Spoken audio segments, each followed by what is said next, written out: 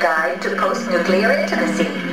As a survivor of the nuclear holocaust, you, yes you, will be responsible for the continuation of the human race. But how will nuclear war change how we live and love?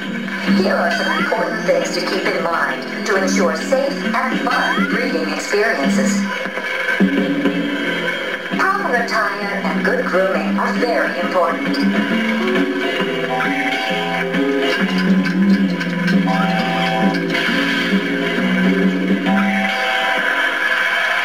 Because you live in a post-apocalyptic wasteland doesn't mean you have to look like you do.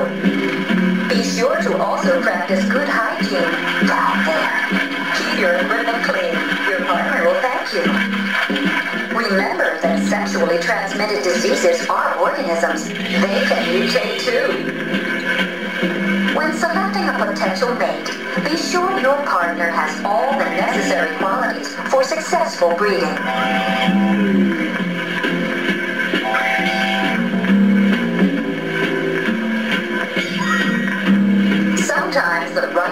Can make all the difference between a successful first meeting and a fatal one.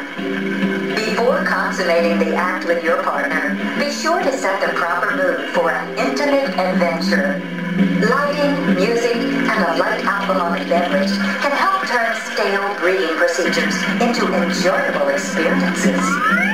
Your partner what you want, and likewise, be attentive to the needs of your partner during intercourse. Go ahead and experiment. With all the breeding you'll be doing, you'll need to try new things to maintain that spark. We at Vault-Tec encourage you to use restraint when it comes to self-pleasure. Not only is masturbation a waste of materials, it will stunt your growth and cause you to go blind.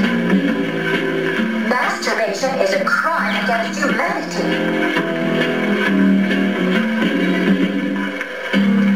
Remember to breed as often as you can, with as many people as possible. With your help, we can repopulate the earth with happy, healthy people.